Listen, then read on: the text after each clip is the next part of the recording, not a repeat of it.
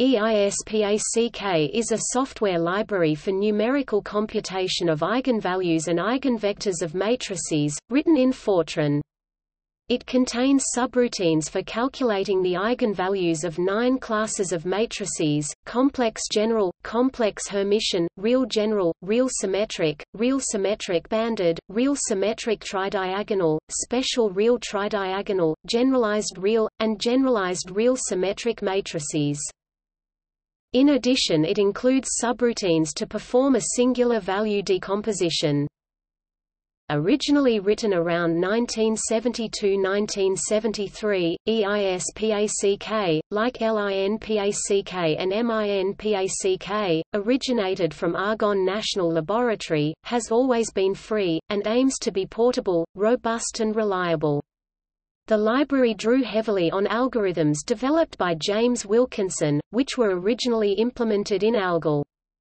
Brian Smith led a team at Argonne developing EISPACK, initially by translating these algorithms into Fortran.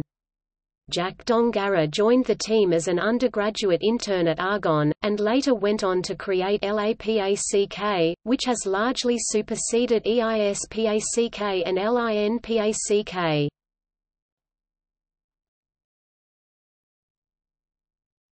Topic: Documentation. Brian Smith, James Boyle, Jack Dongarra, Burton Garbow, Y. Ikebe, V. Klema, Cleve Moler, Matrix Eigensystem Routines, EISPACK Guide, Lecture Notes in Computer Science, Volume 6, Springer Verlag, 1976. As of 2012, it has been cited more than 1,200 times in the scholarly literature.